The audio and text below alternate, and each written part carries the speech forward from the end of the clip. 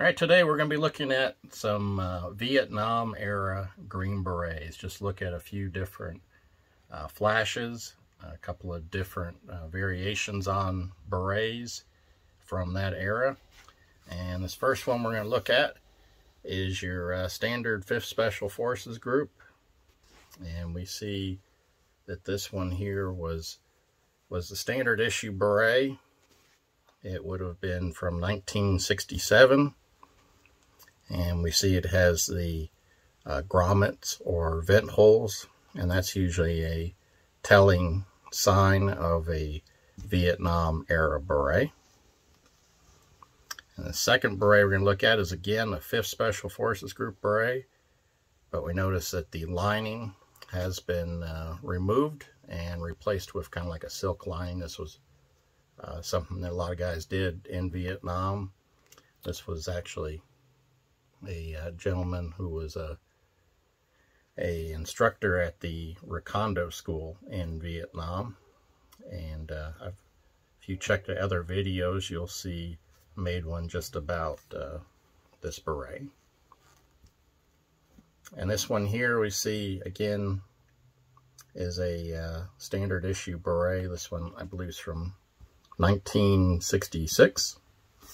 And we see it has a, this is a 20th Special Forces Group flash. For some reason, I'm not sure why the uh, flash was cut off.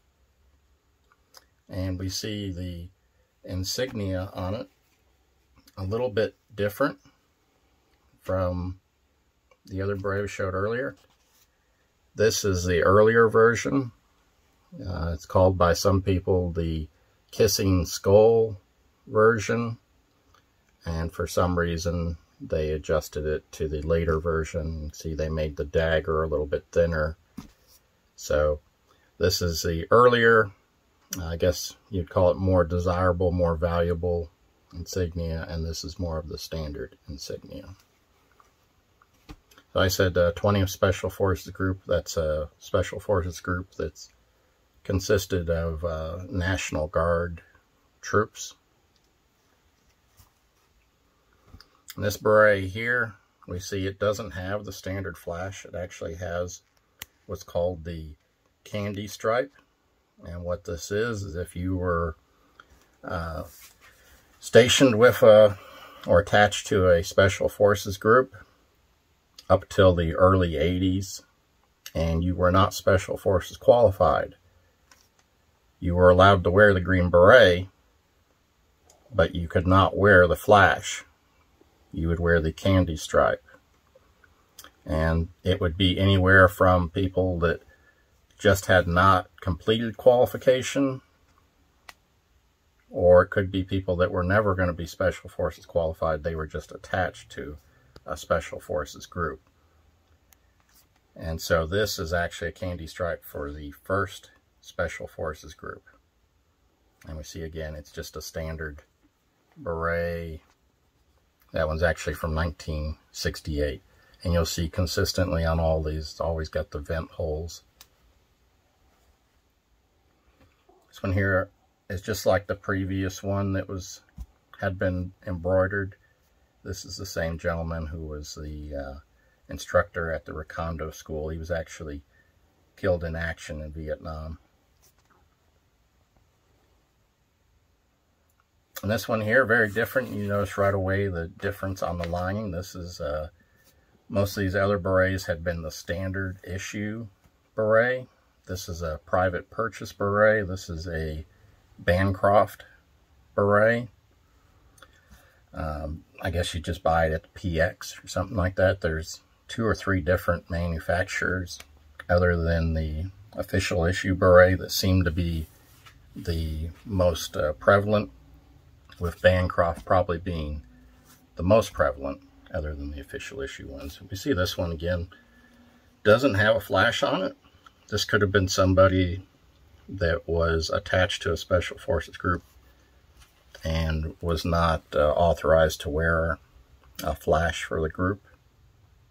I'm not sure why they don't have a candy stripe. Usually that was the way it was supposed to be, where you would wear the candy stripe for the group and then you'd have the insignia right above it. But some people would see this and say, oh, that's not a, a Vietnam beret, but it is. It's from the same time period as the previous ones had shown, just a different manufacturer. And this one here is uh, First Special Forces Group. I guess you'd call this one a salty one. You know, it's very, very worn and dirty. Uh, looks like this one was not an official issue beret. You can kind of see a little bit of an outline of something, probably where it told the manufacturer. But we see it has the same, uh, same Vietnam era uh, grommets vent holes. And that is actually the, you can see the previous one with the candy stripe. Those are the same first Special Forces group. This is just somebody who's Special Forces qualified, non-Special Forces qualified.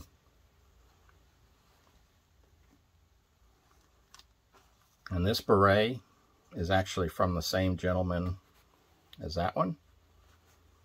But this one we see here, I can tell that this is a Vietnamese made beret just by the this band here. It's real prevalent with these Vietnamese berets where it's a little bit stiffer. And we also see the outline of something maybe you're told where the manufacturer was on there. But one thing that's a little more unusual about this one, it has the 5th Special Forces Group flash but it also has his rank directly embroidered on there, rank for a, a major. So that's pretty neat. And this next one here, this is a 7th Special Forces group. And we see that the lining has been removed. I know uh, some soldiers had complained about that the berets were not breathable enough or not comfortable enough and that they did not fit correctly. So it's fairly common for uh, for soldiers to remove the lining, and that's what's happened on this one.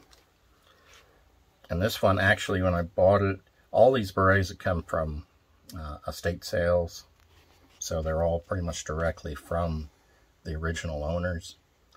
And this one came with this uh, certificate where he completed uh, pre-deployment training to Republic of Vietnam as part of uh, 7th Special Forces Group at uh, Fort Bragg, May of 1966.